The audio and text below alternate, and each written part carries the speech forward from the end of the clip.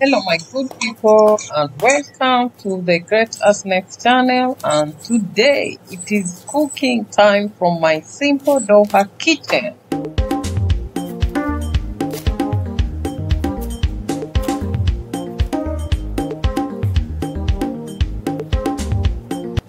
Yes, we are preparing cassava. In Kenya, we call it muhogo. And in my traditional language, we call it mwogo. So welcome and uh, let's prepare mwogo. And you can even comment, tell us how you call it in your traditional language, how you call the cassava. Comment.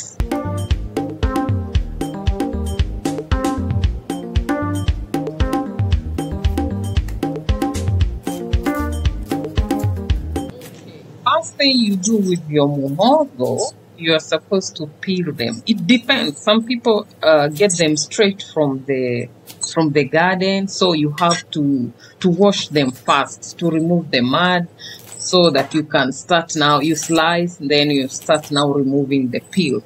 Now, while you are removing your peels, be extra careful because of the knife and uh, the way you are peeling it. Supposed to be gentle so be careful while you're doing it.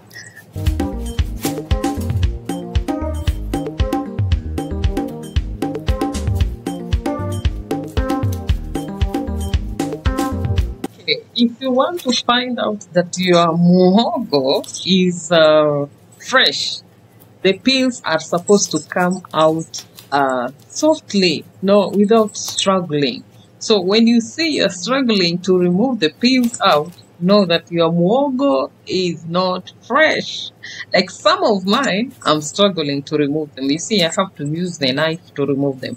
But some of the pieces are very fresh because they can come out easily without struggling. I got this mwogo from the supermarket near me and they are from Sri Lanka.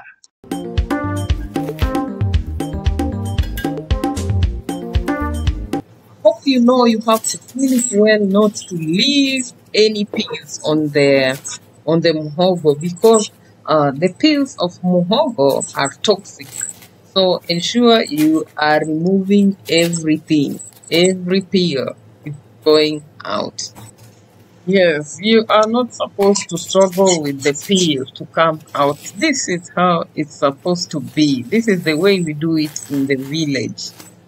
Softly no struggles. After you've done your peeling and your cleaning of the cassava, you put water in a pan, you put some salt, and you put your cassavas in and start boiling on the fire.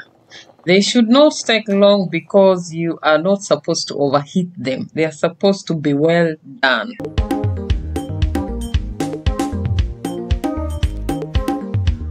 Now our cassava is ready. You can see this is well done. It is not overcooked. It is not uh, undercooked.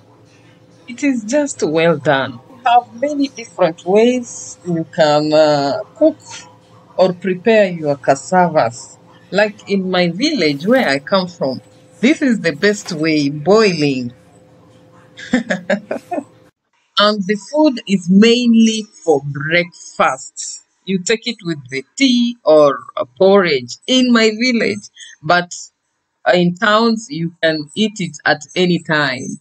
Depends on how and what time you love it to be served. That is your choice. And another thing, we have different ways to cook them. You can fry them, you can uh, roast, you can also boil them. We have different ways. Whichever way you love it to be cooked, you go ahead. Thank you for your company and see you in my next video and please subscribe. Bye.